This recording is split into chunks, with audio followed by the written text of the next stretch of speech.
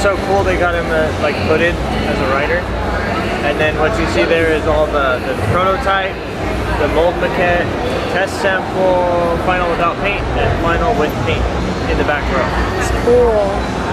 Yeah, those are real And I'm assuming they've done that with each amiibo. So I get this one here. And supposedly the Guardian, the one in the middle, the like robot uh, spider thingy, it has moving parts, which is a. Oh. Oh, that's cool.